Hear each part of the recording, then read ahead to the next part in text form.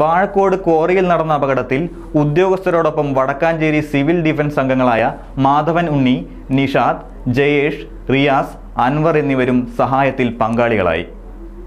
ഞാൻ വീട്ടിലിരിക്കുകയായിരുന്നു കുട്ടികളൊക്കെ ഓൺലൈൻ ക്ലാസ്സിലിരിക്കുകയായിരുന്നു പെട്ടെന്ന് ഒരു വലിയൊരു സൗണ്ട് കേട്ടു. അപ്പോൾ എല്ലാവരും വീടിനടുന്ന് പുറത്തേക്ക് ചാടി. നമ്മൾ വീട്ടിൽ നിന്ന് ഇറങ്ങിയപ്പോൾ പരിസരത്ത് എല്ലാവരും പുറത്തേക്ക് ചാടിയേക്കുന്നു. എന്നിട്ട് എവിടെയാണ് സംഭവം എന്ന് അറിയാൻ വേണ്ടി അന്വേഷിച്ച് പിടിച്ച് വന്നപ്പോഴാണ് ഇവിടെ ഇത് പത്താം വാർഡാണ്. പത്താം വാർഡിൽ ഇങ്ങനെ ഒരു കോറിയിൽ ഇങ്ങനെ ഇവിടെയാണ് സ്ഫോടനം നടന്നേക്കണമെന്ന് മനസ്സിലായത്. അപ്പോൾ എന്നെ ഉടൻ തന്നെ സ്റ്റേഷനിലേക്ക് വിളിച്ചു പറഞ്ഞു. അതുപോലെ നമ്മുടെ പോലീസ് സ്റ്റേഷനിലേക്ക് വിളിച്ചു പറഞ്ഞു. അപ്പോഴത്തേനും ഇവിടുന്ന് കുറച്ച് ആൾക്കാരെ കൊണ്ടുപോയേക്കണോ ആശുപത്രിയിലേക്ക് എത്തിച്ചേക്കണം?